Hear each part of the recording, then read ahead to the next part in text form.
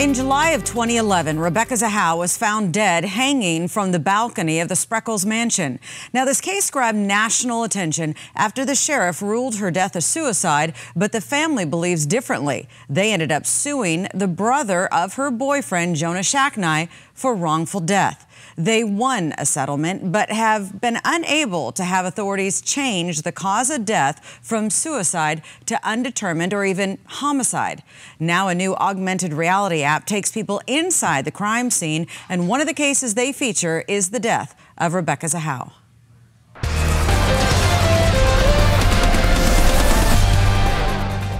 There's the courtyard.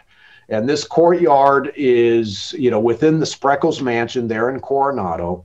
And so I walk into that courtyard and I can see Rebecca hanging over the balcony. And this is exactly what Adam would have seen down to the inch in terms of when he comes out of the guest house and sees Rebecca there.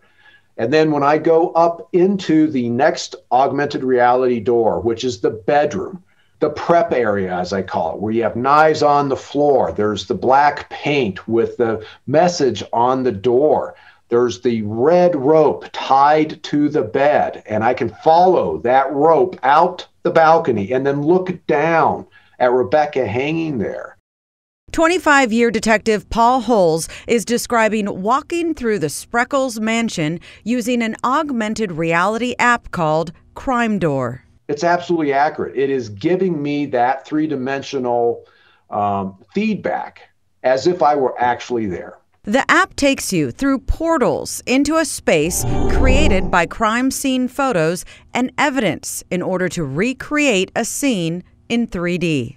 We had no idea really how detailed and accurate this would be, but we were all aware that, you know, you can read you can read an expert opinion, you can watch uh, an expert talk about it, you can read what happened in court, you can follow us through trial. And you know, you're just reading something or you're hearing someone talk about it.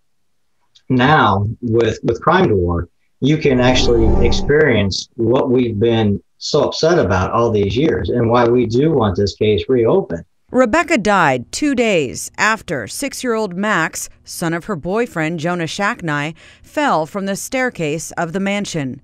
Rebecca and her younger sister were the only ones home at the time of the child's accident. Max died later that week on July 16th. Sheriff Bill Gore announced two months later that Rebecca's death was a suicide and that the child's death was an accident. Rebecca's family disagreed and filed a wrongful death lawsuit against her boyfriend's brother, the one who found her, Adam Shacknai. A jury found him guilty, but that judgment was overturned on appeals. They finally came to a settlement of $600,000. Creators of the app said they wanted the focus to be accuracy without judgment in order to allow people to see for themselves. Our goal is accuracy. And in looking at the information that we have had, we feel very confident that we, we've created a scene that's accurate. And then we put it out to the public, we put it out to Doug, we put it out to Paul, and we say, please weigh in, add additional content, give your voice to it, and share it out and let uh, the community understand a little bit better. When I first got involved in Rebecca's case, I fully expected to probably land on the side of the medical examiner's office and the San Diego authorities. But as I dug into the physical evidence, as I reconstructed this crime scene, I came to the opposite conclusion. And this is where I believe that the medical examiner's office has a duty to change this ruling from suicide to undetermined minimally. I believe it's a homicide, but at least open it up.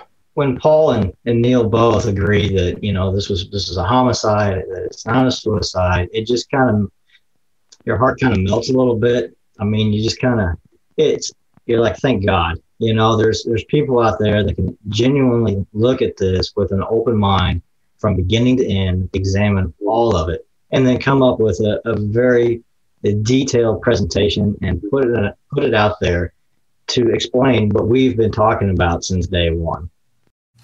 So, as I mentioned earlier, the new app called Crime Door uses augmented reality to accurately recreate crime scenes in 3D. And joining me now to discuss the app are the co founders, Lauren and Neil Mandt. Lauren and Neil, good to talk with you tonight.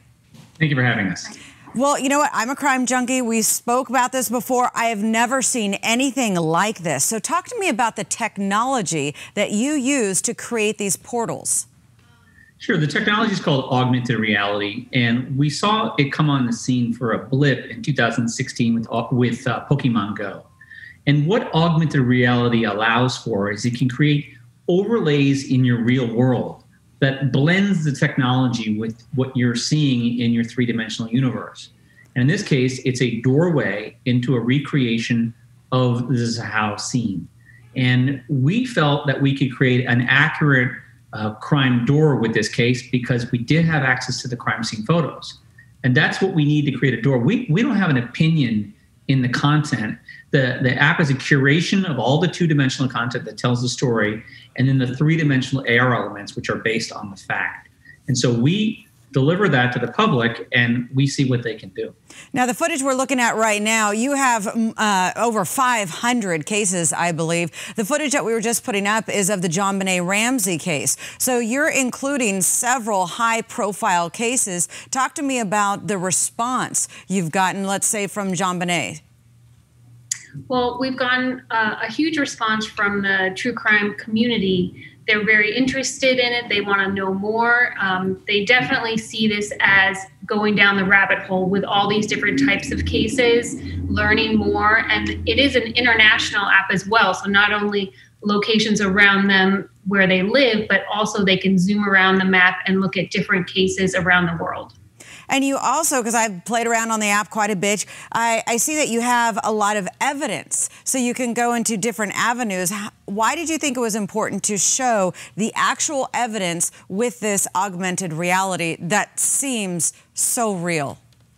Well, uh, as I said, the only way to, to understand something would be to experience it. And it needed to be accurate. And so the tiniest of details uh, are critical. And as an example, in the, there's a How case, if you were to look at the base of the bed, the bed frame, uh, that had only moved a few inches.